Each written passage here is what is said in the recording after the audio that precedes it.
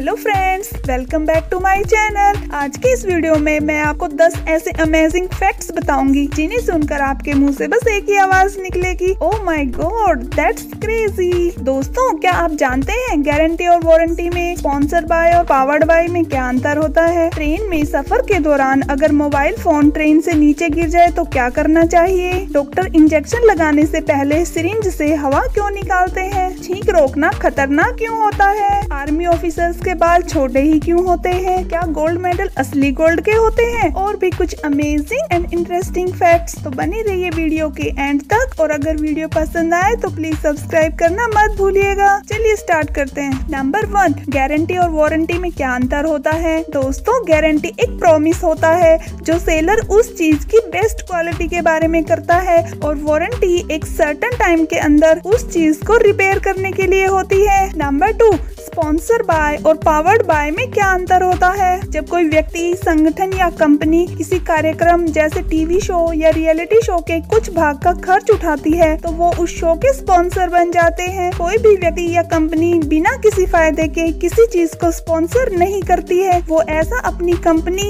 या अपनी कंपनी के किसी प्रोडक्ट के एडवर्टाइजमेंट के लिए करती है। पावर्ड बाय ये वो कंपनीज़ होती है, जो कि अपने प्रोडक्ट को उस टीवी शो या रियलिटी शो में प्रोडक्ट को यूज़ करने के लिए दे देती है। शो में उस वजह को बताया जाता है, जिस वजह से आपको वो चीज़ खरीदनी चाहिए। नंबर थ्री अगर मोबाइल चलती ट्रेन से बाहर गिर जाए तो क्या करें? ट्रेन में सफ़र करने के दौरान अगर आपका मोबाइल अचानक से नीचे गिर जाए तो सबसे पहले आपको रेलवे ट्रैक के किनारे लगे हुए पोल पर लिखा हुआ नंबर या साइड ट्रैक का नंबर नोट कर लेना चाहिए। फिर तुरंत किसी अन्य यात्री के फ़ोन की मदद से आरपीएफ यानी कि railway protection force all India security helpline number 182 पर सूचना दे देनी चाहिए। इस दौरान आपको उन्हें ये बताना चाहिए कि आपका फ़ोन किस पोल या ट्रैक नंबर के पास गिरा है। ये जानकारी देने के बाद रेलवे पुलिस को आपका फ़ोन खोजने में आसानी होगी और आपका फ़ोन मिलने की संभावना कई गुना बढ़ जाएगी। नंबर फोर डॉक्टर इंजेक्शन में से हवा क्यों निकाल देते हैं? आपने इंजेक्शन लगवाते समय देखा ही होगा कि डॉक्टर हमेशा सिरिंज में दवा भरकर उसमें मौजूद हवा को निकाल देती है। डॉक्टर ऐसा इसलिए इसलिए करते हैं क्योंकि सिरिंज में मौजूद हवा मौत का कारण बन सकती है।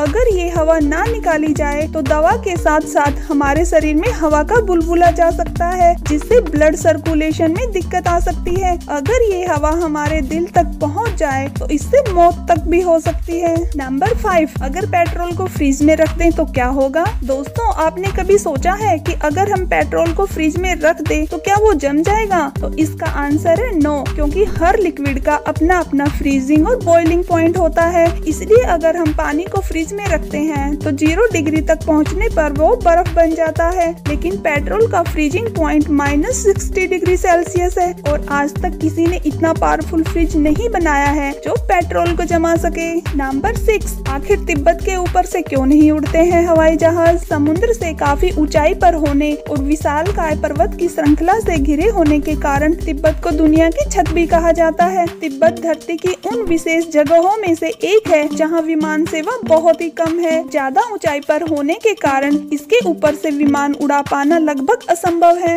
विशेषज्ञों की माने तो तिब्बत दुनिया का सबसे कम दबाव वाला क्षेत्र है। इस क्षेत्र में हवा की कमी है। अगर विमान यहाँ उड़े तो यात्रियों को अधिक समय तक ऑक्सीजन की ज़रूरत पड़ेगी, जबकि विमान में यात्रियों के लिए सिर्फ़ 20 मिनट तक की ऑक्सीजन उपलब्ध कराई जा सकती है। माउंट एवरेस्ट से नज़दीक होने के कारण यहाँ हवाएँ तेज़ी से चलती है और एक विमान के लिए इतनी तेज गति की हवाओं का सामना कर पाना मौत को गले लगाने के समान है। नंबर सेवन छींक को रोकना इतना खतरनाक क्यों होता है? छींक आना एक प्राकृतिक क्रिया है। छींक आना स्वस्थ जीवन के लिए बहुत ज़रूरी है। दरअसल, जब कोई बाहरी तत्व हमारे शरीर में प्रवेश कर रहा होता है तो हमें छींक आ जाती है और वो चीज़ बाहर ही रह जाती है। दोस्तों, क्या आपको पता है छींक रोकना बेहद खतरनाक हो सकता है? छींक आने पर हमारे नाक से तेज रफ्तार में हवा बाहर आती है। अगर हम छींक को रोकते हैं तो ये सारा दबाव दूसरे अंगों की ओर मुड़ जाता है और हमारे नाक और गले की कोशिकाओं पर दबाव डालकर उन्हें नुकसान पहुँचा सकता है। छींकने के साथ हमारे शरीर में मौजूद खतरनाक बैक्टीरिया बाहर निकल जाते हैं। अगर आप छींक रोकते हैं तो यह शरीर में ही बने रहते हैं,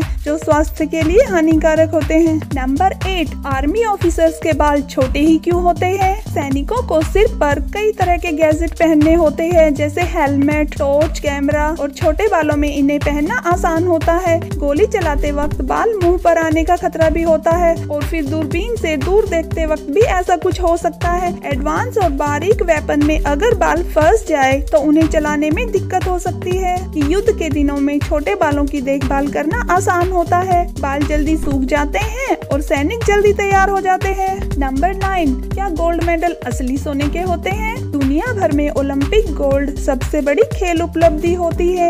लेकिन क्या आप जानते हैं, ये गोल्ड मेडल गोल्ड के नहीं, बल्कि सिल्वर के बने होते हैं, जिन पर सिर्फ़ गोल्ड की पॉलिश की होती है। 1912 के स्कोट होम गेम्स में ही आखिरी बार प्योर गोल्ड के मेडल दिए गए थे।